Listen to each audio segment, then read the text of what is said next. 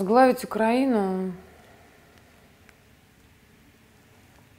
я думаю, что, безусловно, на территории Украины есть э, хороший лидер, но он должен, мне кажется, быть союзником с Россией, да, то есть человек, который хочет присоединить э, Украину к России. Вообще, я очень скучаю по тому времени, когда мы пели песню «15 республик, 15 сестер», когда я пела эту песню в школе, я чувствовала вот это, вы знаете, единение, что вот мой город Калининград, он не один, страна огромная, страна большая, и что мы действительно очень могучие. И я знаю, что каждый мой одноклассник чувствовал то же самое. И если вернуть, пока мы едины, мы непобедимы, да, это понятно.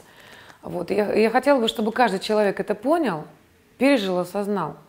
И человек, который будет лидировать в Украине, ну, по моим там, как бы, пониманиям, он все-таки должен быть с нами союзник. И объяснить э, людям, народу украинскому, что спасение именно в объединении –